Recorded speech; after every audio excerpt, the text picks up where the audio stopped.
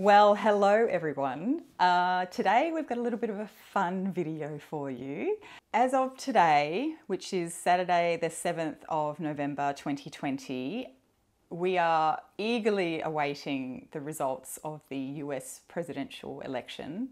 Um, at the moment, it looks like Biden is in front, but who knows what will happen with the remaining votes because the, the remaining states to go are, you know, could go either way, basically. So we'll see how that goes. So, anyway, last week I stumbled across an article that talked about a particular perfume, which I will get to soon, and they were saying that that was Michelle Obama's signature perfume. And that kind of got me thinking about, oh, well, I wonder what other perfumes or what perfumes the other First Ladies wore. And that just kind of led me down a bit of a rabbit hole on the internet for a few days. and this actually, this video is about a week, uh, just over a week in the making, actually. Um, I don't really know, being an Australian, I don't know that much about US history and politics. And uh, so it has been a bit of an interesting read along the way. I've found out, you know, some things, which is nice to have knowledge, you know. Um, and anyway, I just thought it would be fun to talk about what I uncovered in terms of fragrances that these women wore. Just just be aware that this is a bit of fun, okay? So uh, I'm not, uh, I haven't done any really great in-depth amount of research and I certainly have not tried to validate any of the answers that I was able to dig up in the deep dark corners of the internet. So uh, I, I have, will say though that some websites appeared to be quite legitimate because they were um, referencing museums and things like that. Uh, others, questionable, questionable data. but I've used it anyway. Some women I wasn't able to really pull up any information on in terms of what they wore. Uh, and others, you know, I had shopping lists almost. It was there was so much. So in any case, I'm going to dive right in and I hope you enjoy it. Now, I will say too, now I do have my phone here with me just to uh, remind myself of the notes that I've taken. Uh, I will also say that I didn't do all of the first ladies because pre 1920s, 1930s, it started to get a bit hard to, to find any information about, you know, the fragrances that they were, wore because I think you know, obviously back then maybe that sort of stuff wasn't being reported. So, in any case, uh, we will we will do our best. So I'm starting with Eleanor Roosevelt. She was the first lady from 1933 to 1945, and I wasn't able to pull up too much information about what she liked to wear, but I did pull up an interview that said that. Uh, where she said that yes, she liked to wear perfume that wasn't too heavy, but that she also said she didn't have any particular brand that she used. But then I found another report that indicated that she did wear Muguet de Bois by Coty and Inauguration by Prince Matchabelli Perfumes. In fact, it appears from what I was able to uncover that that fragrance, that, uh, that Inauguration fragrance, was actually made especially for her. So the Coty fragrance, the Muguet de Bois, was actually released in 1941, and as you can imagine, it featured Lilia's Valley. But it was very reported to be very green and aldehydic. Uh, it had citrus notes in the top, such as bergamot and orange. It had florals like lily of the valley, cyclamen, rose, and jasmine, and then in the base there was musk and sandalwood, according to Fragrantica. So, um, quite a, what I would imagine to be a fairly fresh floral, uh, fairly light and clean smelling.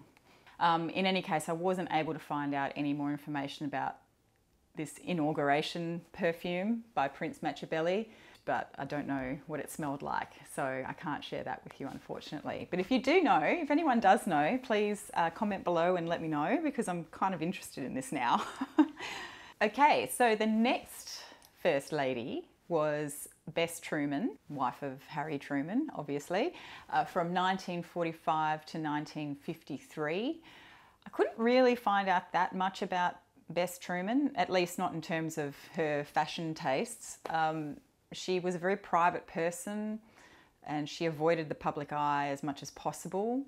And so I was able to find out that she wore, she reportedly wore Chanel number five and L'Heure Bleue by Guerlain.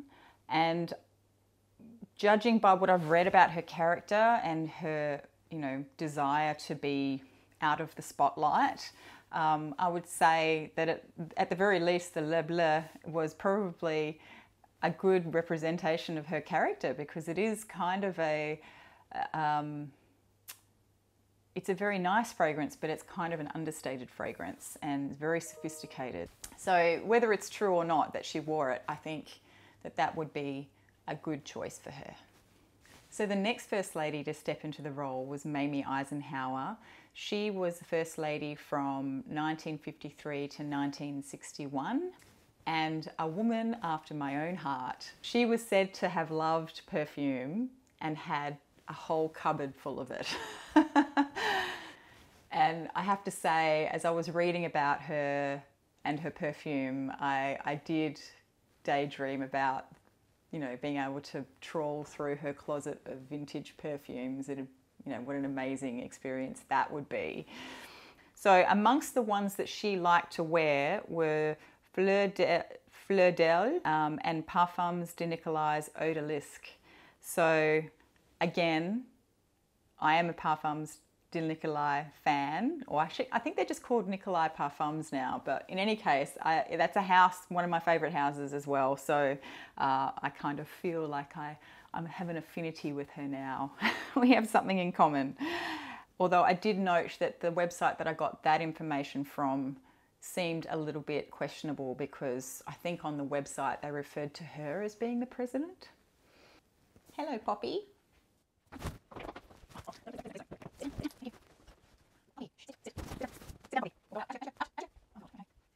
Poppy interruption. Okay, where were we? Uh, we just did Mamie Eisenhower. The next First Lady is Jacqueline Kennedy from 1961 to 1963. Obviously, a style icon. Uh, lots of reports on things that she liked to wear, both clothing wise and perfume wise. Uh, and it's fair, it was fairly consistently reported that her favourite fragrances were Joy by Jean Patou and Jicky by Guerlain. Uh, so I have spoken about Joy previously on this channel, not so favourably, uh, just because it's a very floral fragrance. It's heavily floral fragrance, and uh, I, I just found it to be a little bit too much for me, but it's widely loved. So uh, I, you know, don't take my comments on the fragrance as an indication of whether it's good or not. I have heard that people say that the vintage version is way better than the current version. Haven't smelled the vintage version, uh, but in any case, it, it I can appreciate it, but it just wasn't something that I would wear personally. But I do like her choice of Jicky because that is an amazing fragrance. I don't own that one actually, but I have contemplated buying it many, many times. It's kind of like the same story of the L'Heure Bleue because I took ages to buy that even.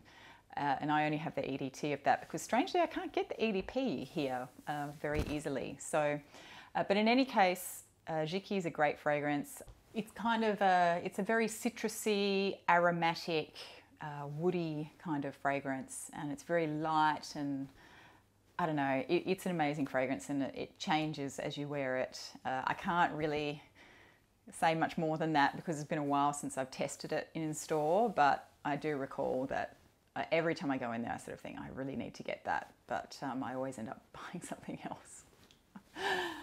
the next First Lady was Lady Bird Johnson. Love that name. Isn't that a great name? Uh, she was the First Lady from 1963 to 1969.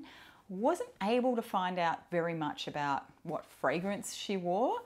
Uh, most of the articles I read about her really focused on her love of wildflowers. She was an avid environmentalist.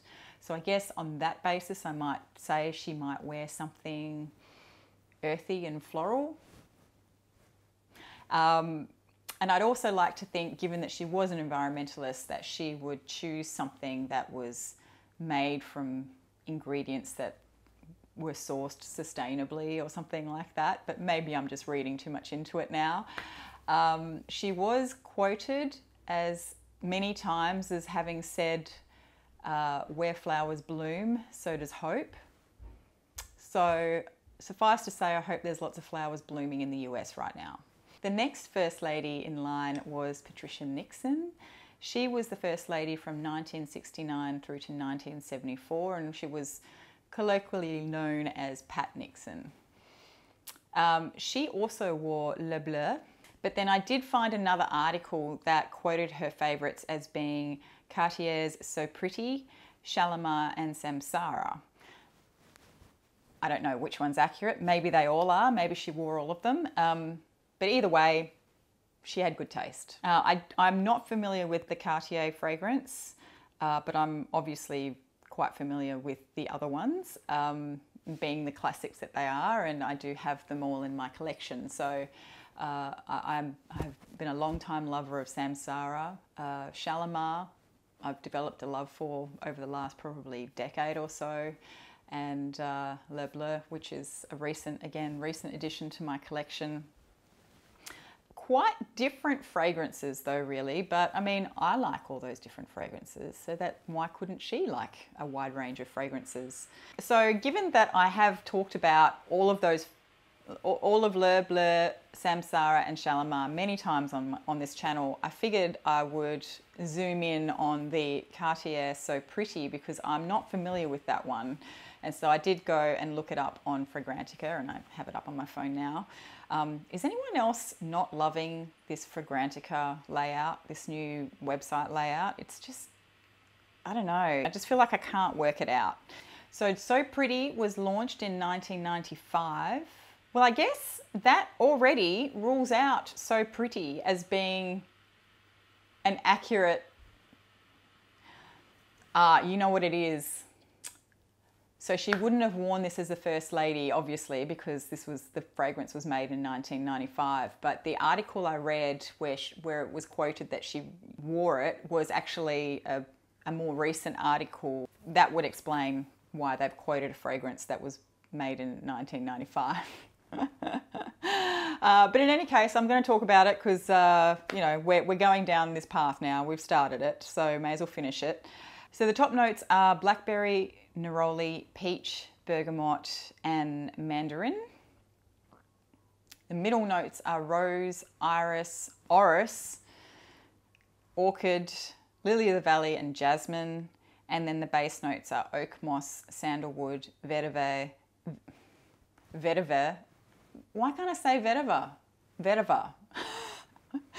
Musk, benzoin, and cedar. I actually quite like the sound of that. I'll have maybe I should go try and track it down. I wonder if it's still available. Is it discontinued? I don't know. Um, let me know if you have tried it and if you liked it. But I'm not going to read the reviews because, I mean, obviously that's not what we're here for. Stay on track, Cherie, stay on track. Okay. The next First Lady in line was Betty Ford from 1974 through to 1977. Again, wasn't able to find out much about her, but I did find a throwaway comment in an article somewhere that said that she uh, had uh, that she was known for wearing Florence Gunnison perfume oils. Now, this is interesting because I've heard the name Florence Gunnison, but I don't think I've ever heard of the actual perfume oils. So I, I don't know. I, I have no familiarity with them at all, but I don't know why it is that I've heard of the name Florence Gunnison. Anyway, they must have been very famous perfume oils or something, and that the, the name is just, you know, familiar to me. But I've never experienced them, I've never seen them, uh, so I don't even know if they're still available. Okay, uh, next First Lady was Rosalynn Carter, 1971 to 1981. So, just little side fact I was born in this era. I couldn't find much on Rosalynn Carter either, actually. Other than there was a couple of websites that mentioned that she was a client of Albert Nipon and there was a fragrance or a couple of fragrances that he released. He was he was actually a clothing designer, uh, and so I, I, I expect that if she was a client of his, it probably would have been in relation to the clothing, not the perfume. But who knows? Maybe she did did wear the perfume as well. So she came from a religious sort of rural background, and um, as a consequence, she was very conservative as well, I believe, from what I've read. And her fashion tastes represented that. So I imagine if she did wear fragrance, which she probably did, um, that it would have been equally frugal and conservative as her fashion choices were. So the next one in line was Nancy Reagan from 1981 to 1989. She was actually originally an actress, which I did not know beforehand, before doing this research. Uh, but now that I have read that, uh, I guess it makes sense because she did always look very put together and she did look like a Hollywood starlet in a way. so that makes sense. Um, she was known to have very lavish style, which also, I guess, links in with the whole Hollywood lifestyle. And as a consequence, I guess it's not surprising that she also had a love of very lush white floral fragrances. So, amongst her favourites uh, include Giorgio Beverly Hills, which is also, I think I've mentioned that in one of my previous videos as well. And that is a fragrance that I always wanted to own for a really long time uh, because I loved it, but I never owned it. And um, I sort of wanted, really, really wanted it in my late teens, early 20s, I think. And now I'm sort of past it. I don't really want to own it. And I think it's changed anyway. The formulation's changed. Um, then Galanos was another one that she liked. And I'm just looking up what that one smells like because I'm not familiar with that one. That actually was released in 1979 and it's it's a floral it's a floral fragrance that's also quite aromatic apparently. She also liked Madeleine de Madeleine, which I think if I remember from my reading is largely a white floral fragrance as well. And then she also in a different article, I read that she also liked Tuberose by Mary Chess. Again, not one that I'm familiar with, but obviously a big fan of white florals because I think white florals feature in most of those fragrances or are the star of most of those fragrances. So the next First Lady was Barbara Bush uh, from 1989 to 1993. Now, she was another First Lady that was a bit older when she stepped into the role. I think uh, she was in her 60s when George Bush was elected. Although the Trumans, I think, still remain the oldest couple to have ever occupied the White House. But uh, she was known to be very frugal. She was famously reported as wearing $29 shoes and fake pearls to George Bush's inauguration, um, which I don't see what the problem is with that, quite frankly. why, why does being in a powerful position require you to spend lots of money on things? I don't, I don't understand. But anyway, so I, I quite like her for that actually. Um, and her fragrance choices were also fairly frugal from what I've read. So her favourites were reportedly uh, Evyan White Shoulders perfume, which I did look that up and it looks like it's still fairly readily available and around about the $30 mark uh, Paco Rabanne's Calandre, Maitland Philippe Zerolia, don't know that one at all. And she, but she also, in more recent times, was quite partial to Creed's Love in White. And um, I mean, she sadly passed away a couple of years ago, but um, you know, we could forgive her that little luxury uh, despite her otherwise very frugal lifestyle.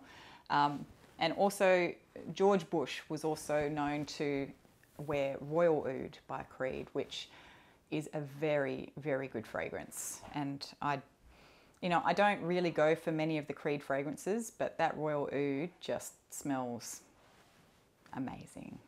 Moving on, Hillary Clinton from 1993 to 2001 as First Lady. It was reported she liked Angel, which we all know, we all know Angel But she also liked a fragrance called Bijan, and that is an oriental floral fragrance that was launched in 1986. So she obviously liked the big, bold 1980s, 1990s type fragrances. Um, and it's largely a white floral fragrance. So there's uh, orange blossom, um, tuberose, jasmine, lily of the valley, um, then some musks and woods and oak moss and stuff in the base. It's actually quite a long list of notes uh, in that fragrance. I can kind of imagine what it would smell like actually. And uh, they're the only two that I could find on record that she apparently likes to wear. So I'm sure it's changed many times over the years, as it does for all of us. So the next one is Laura Bush from 2001 to 2009. Uh, she also wore Love in White by Creed. In fact, the first bottle of that fragrance was gifted to her in 2005 when it launched. And she was also known to wear white linen by Estee Lauder. So actually, a similar taste to me. I loved white linen by Estee Lauder, and I have been toying with the idea of getting another one. So um, quite different fragrances though. Love in White is a very breezy white floral fragrance, um, very feminine, very pretty. Uh, white linen is, you know, aldehydic, so and a bit sharper, a bit soapier as well. So very nice fragrances. Then we come to Michelle Obama, which I'm pretty sure everyone knows that she was obviously the First Lady from 2009 to 2017, and she also wore Love in White by Creed. Uh, she was also known to wear Acqua Fiorentina by Creed.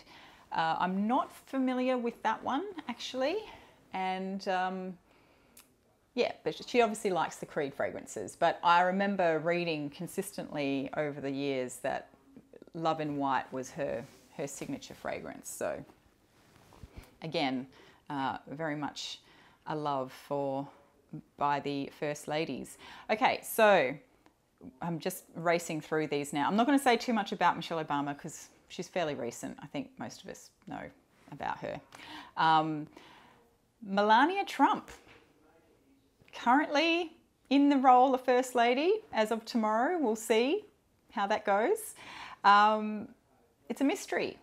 But I did read that I think somebody did write a biography for her, and it was quoted that um, the press would get a two minute warning when she was approaching because her fragrance would project so far in front of her. So they could smell her coming, basically. Um, and her fragrance was described as having savory notes, blending jasmine and lily with oolong tea and cinnamon. So, sounds like a spicy tea fragrance with some bold white florals in there. Uh, maybe it's a little bit aromatic as well. Um, I'm trying. I've been trying to guess what the fragrance would be based on that note listing, but I mean, I don't know if if, if it's an accurate note listing. So, uh, if anyone else knows, let me know. But I mean, it's it's it's purported to be a very well kept secret as to what fragrance she wears. So, because we don't know Melania's fragrance, and because you know her role as first lady is currently hanging in in the balance of whether or not Trump wins this election or not. And then, of course, there's Jill Biden, who might be stepping into the role, and we don't know much about her either. I thought I'd do a little bit of research to try and get an impression or a feel for what I think these women might be like, and then I'll send them out of my own collection based on that.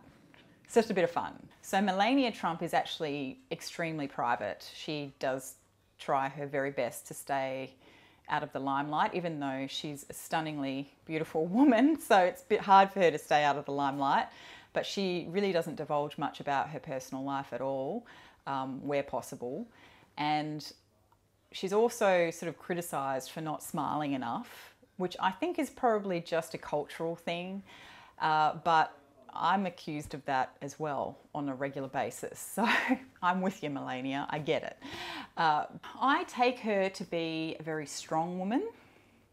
I'm actually, all of these women must have been strong women, but I take her to be a strong woman, uh, a very shrewd businesswoman.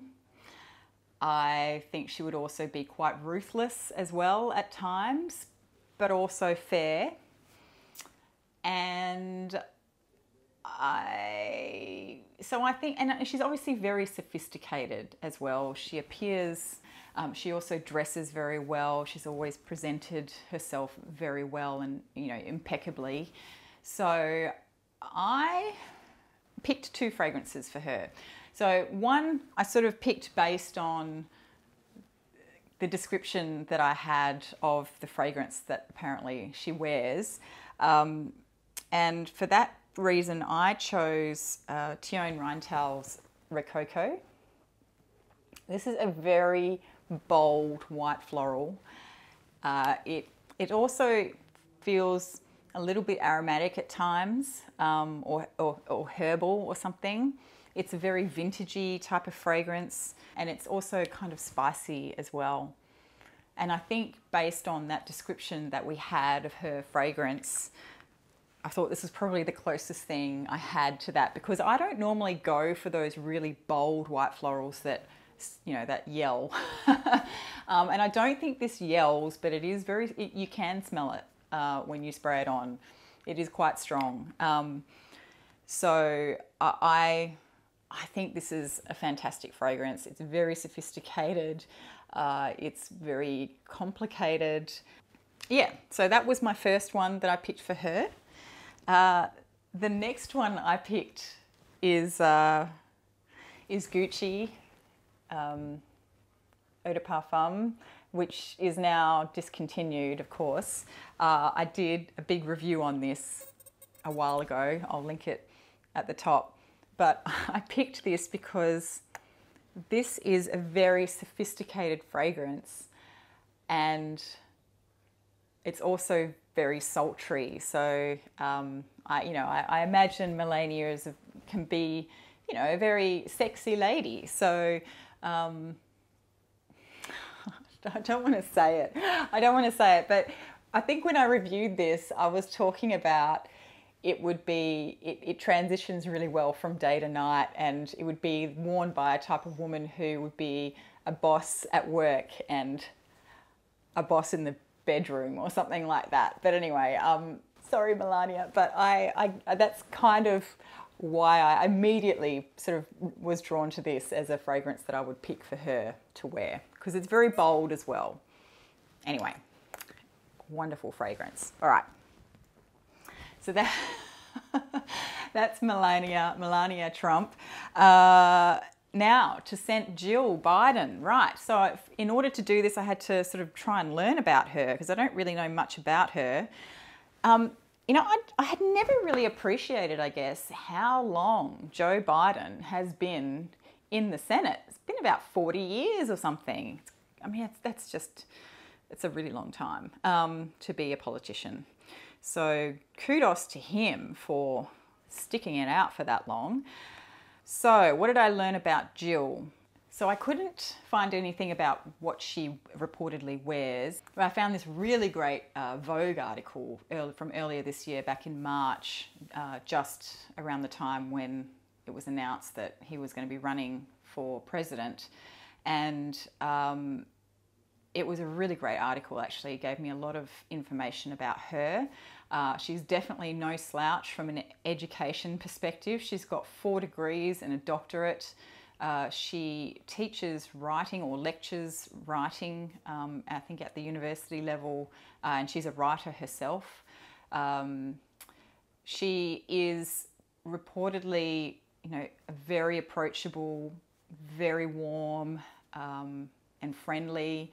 So a, a, bit of a contrast to Melania, I guess, in that she's not as standoffish, perhaps, uh, or not a, not as reserved. Um, having said that, she's obviously been in this game a lot longer. Uh, you know, if her husband's been in the in the in politics for forty years, they haven't been married for that entire time, of course. But um, yeah, I look. I got the impression that she's a really smart, lovely lady. So I, I kind of got the impression. I mean, she's she's just got this look about her. You know, she's very Californian looking, and I know that sounds bad because I'm Australian and I don't. But I just have these stereotypical views of what people look like and where they come from in the US. So I'm really sorry about that. It's not. It's just. It's just how I categorize things, I guess. And anyway, so she's blonde and tanned, and I just imagine that she would be from California. And I think the article that I read, she it was being uh, interviewed. She was being interviewed in her beach house. So, um, so I kind of I guess that's where I get that uh, view of her from. So I actually don't know where. That's one thing I didn't look up actually was where she was born. But anyway, that's beside the point. So I guess I imagine that she would wear, and I having sort of seen some photos of her style and things like that. So I imagined that she would wear something very approachable uh, and not too in your face, not too bold, but something breezy and airy, maybe a little bit floral, maybe a little bit musky, uh, clean smelling kind of fragrance. And so I chose Mojave Ghost as uh, one that I thought would be good for her. Uh, this is a really beautiful, florally, woody, kind of musky fragrance. Ambrette, magnolia, violet, sandalwood, oh, and cedar. I love this fragrance. Um, I waited a long time to get this bottle in my in my collection. I'm really looking forward to wearing it over summer. Uh, so that was the first one that I chose for her. Um, the other fragrance that I chose, I chose because of that element of her being a writer. Um, and again, I'm going with stereotypes here, but I kind of imagine writers to be uh, fairly introverted, to be, which is not true, by the way. I mean, that's that's not a rule, but it's just when I think about writing, I think about sitting quietly. I'm probably thinking about myself actually, because I'm not actually a writer, but I've always wanted to be a writer. but in any case, I, uh, I, I, chose Sandalwood Temple uh, as the other fragrance that she might wear because this is a really beautiful, sweet, sandalwoody fragrance. It's just it's so calm and inviting and warm and approachable. I can't imagine anyone wearing this and not being an approachable person because of it. It's just so beautiful. I love this fragrance. Uh, so that was the second one that I chose for Jill Biden. So it will be very interesting to see what happens tomorrow when I wake up and see the results. Uh, hopefully we have a result by tomorrow. So I'm curious to know what you would choose as scents for Jill Biden and Melania Trump, uh, just as a bit of fun. So do put it in the comments below. Thanks for watching. I know it was pretty long. Uh, hopefully it won't be too long once I cut it down. anyway, I hope you enjoyed this. Have a great week, everyone, and I'll see you next time. Bye. We were young and we were free and running, never bothered about what could be coming. Every day we danced and life was smiling.